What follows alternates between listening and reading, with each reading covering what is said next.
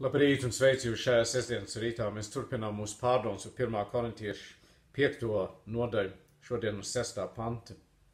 Jūsu lielība nav laba, vai nezināt, ka nedaudz rauga saraudzē visu mīklu? Izmieziet veco raugu, lai jūs būtu jauna mīkla, kādi jūs jau arī esat bez rauga. Mūsu pašas jērs Kristus taču ir par mums upurēts. Tā kā svētkus, lai svinam nevis ar veco raugu, ļaunumu un samaitātības raugu, bet ar skaidrības un patiesības neraudzēto maizi. Pāvils lieto ilustrācijas, kas viņam ir pazīstamas. Pašā svētkos vienmēr ēda neraudzēt maizi. Rauks vecā derībā ir simbols grēkam un vecai dzīvei. Maz rauks saraudzē visu mīklu. Ja tu kādreiz cep maizi, ko es ļoti daudz nodarbojos, nevajag daudz raugu, lai mīklu uzrūkst. Un, kad tas raugs ir iekšā, tu nevar vairs dabūt ārā. Atrisinājums mums cilvēkiem bija Jēzus krusta nāve. Mēs piedzimstam grēkā, grēks ir kā raugs, kas ir mūsu dzīvē, un vienīgais veids ir mums ir jāmirst un jāpiedzimst no augšienes, ka mēs nožēlojam savus grēkus un mēs pieņemam Jēzu kā kungu un pestītāju, viņa asins šķīsta mūs. Un būtībā mēs nomirstam un mēs tiekam augšām celti jaunai dzīvei.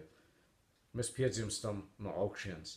Kristībās mēs gremdējam veco Ādāmu un mēs uzceļamies kā jauns radījums, jauns cilvēks. Ja kas ir Kristu, tas ir jauns radījums, kas bijis ir pagājis, viss ir tapis jauns. Un tas ir, ko Pāvils šeit atgādina. Bet viņš saka arī, mums vajag izvairīties un uzmanīties no lielīšanās. Lielība nav laba, lielība nekad nav laba. Nekad nav labi lielīties, ka mēs lielamies, tad mēs kritīsim, kas pats sevi paaugstina, tas taps pazemots, kas pats sevi pazemo, tas taps paaugstināts. Mums nav pa ko lielīties. Mums arī katrā ziņā nebūs lielīties par to, redziet, kā mēs dzīvojam un kā mēs darām, un mēs varam mēģināt dzīvot ar vienu kāju pasaulē un otru dievu valstībā. Tas neder. Tas ir tieši, ko korintieši darīja. Un Pāvils atgādina, ka ir jādabo ārā to slikto augu, kas ir draudzē, lai tas nebojā visu citu. Un tāpēc kādreiz, kā es teicu vakar, mums kādreiz ir kāds cilvēks jāizslēdz no draudzes, lai citi cilvēki netikt sabojāti savā ticības gājienā. Mēs esam jauns radījums. Mums ir visu laiku jāskatās, ka mēs netiekam bojāti, bet ka mēs uzturam sevi šķīstu, ka mēs turamies tuvu pie mūsu kunga Jēzus Kristu. Tevis tēvs, paldies par taviem vārdiem. Paldies, ka tu esi atrisinājis mūsu problēmu, ka mēs paši sevi nevarējām uzlabot un nevaram uzlabot ka vienīgais atrisinājums ir, ka mums ir jāmirst, ka mums ir jāsaka Pāvils, līdz Kristus esmu krustā sis. Nedzīvoju vairs es, bet manī dzīvo Kristus. Cik es tagad dzīvoju, šī miesā dzīvoju ticībā uz Dieva dēlu, kas mani mīlējis un nodevies par mani. Paldies, ka tu mūs tā esi mīlējis. Paldies, kungs, ka mēs esam tevī, mēs esam jauns radījums, kas bijis ir pagājis, visi tapis jauns.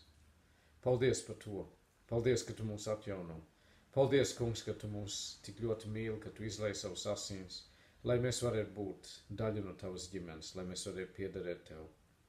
Pasarg mūs no lielīšanos, mēs izvēlamies pazemības ceļu. Mēs apzināmies, kungs, ja mēs kaut ko labu spējam izdarīt, tad tas ir, jo tu darbojies. Tas gods pienākās tev. Paldies par šo dienu, izlūdzamies Tavu svētību par mums mīļājiem, tuvu un tālu. Aizlūdzam par Ukrainu, mēs lūdzam, kungs, dod, lai viņi turās Mēs lūdzam, kungs, izjauc visu ienaidnieku nodomus un plāns, lai viņš atgriežas savās mājās, zaudētājs, debes tēvs, apžēlojies. Apžēlojies par mūsu slimniekiem, un tādi ir daudz, uzliet savu roku, dziedini, mierini, stiprini un palīdzi. Tu zini katru cilvēku vajadzību, un tu apmierini to, un mēs pateicamies par to. Mēs izlūdzamies, kungs, svētī mūsu zemi, kurā dzīvojam. Mēs pateicamies šeit, Austrālijā, par brīvību, ko baudām. Un mēs lūdzam, lai tas tā arī turpinātos. Nākošais nedēļa mums būs vēlēšanas, vadi mūs un rādi mums pareizo ceļu. Es ar visiem kandidātiem dod, lai viņi būtu godīgi, taisni, uzticami. Mēs visi nododam tev, zinādam, ka tavas rokas ir lielas, labas un spēcīgas. Un tagad mēs kopā apvienojam visu mūsu lūgšanas, lūgdami mūsu Tēvs debesīs. Svētīts lai top tavs vārds, lai nāk tava valstība, tavs prāts, lai notiek kā debesīs, tā arī virs zemes. Mūsu dienascho maizi dod mums šodien. Piedod mums mūsu parādus, kā arī mēs piedodam saviem parādniekiem. Nieved mūsu kārdināšanā, bet atpestī mūs no ļauna, jo tev pieder valstība, spēks un gods mūžīgi mūžos. Āmen! Tā, mīļie draugi, lai svētīgi jums šī diena, Dievs jums līdz atkal tiksimies, Dieva palīgas ceru, ka tas būs atkal rītdien, ka mums būs svētumi